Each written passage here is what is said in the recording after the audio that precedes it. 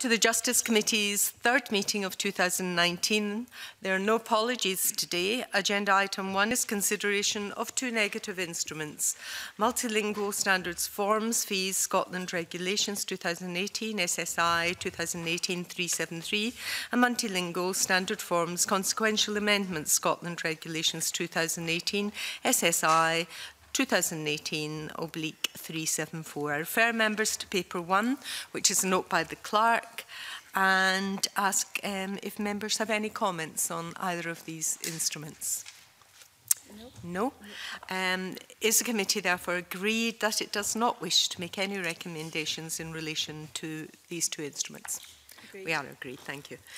Agenda item two is um, feedback from the Justice Subcommittee on policing on its meeting of 17th of January 2019. I refer members to paper two, which is note by the clerk. Following the verbal report, there will be an opportunity for brief comments or questions, and I invite John Finnie to provide that feedback. Thank you, Convener. As you know, Convener, the Justice Subcommittee on Policing met on the 17th of January and we took evidence from the Cabinet Secretary for Justice on the policing aspects of the Scottish Government's draft budget for 2019-20. The subcommittee asked the Cabinet Secretary to respond to the view expressed by the Scottish Police Authority and Police Scotland that the draft budget falls short of what the police service requires to meet the demands placed upon it. For example, the capital budget is insufficient to fund the agreed digital data and ICT strategy and maintain its fleet and estate.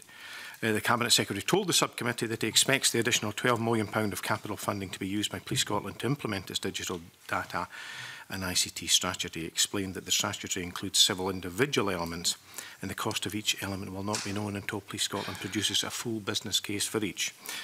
The remaining capital, capital funding is to be used by Police Scotland to maintain its fleet and estate. The subcommittee queried whether it was sufficient as it had remained the same as the previous financial year when Police Scotland overspent its fleet management um, by around £6 million. Cabinet Secretary acknowledged that this was an issue and committed to consider how to address it before the next spending review. The Cabinet Secretary confirmed that the revenue funding would cover the increase in staff numbers, at the SPA and agreed and the agreed police award for uh, uh, pay award for police officers. Sorry. The Cabinet Secretary also confirmed that due to ongoing uncertainty around Brexit, the current assumptions underpinning the overall budget for policing remain subject to review in light of Brexit-related planning being undertaken by the Police Scotland and the SPA. Um, we'll meet next on the 31st of January when we'll hear from the Chief Constable on the draft budget, budget and his priorities for 1920. Do members have any comments or questions on the report?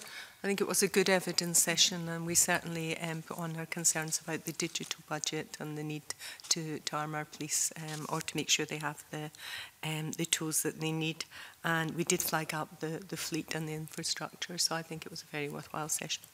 Uh, if there are no other comments, then that concludes the public part of today's meeting. Our next meeting will be on 29th of January 2019 we will be seeking to finalise our Stage 1 report on the management of Offenders Bill and we now move into private session.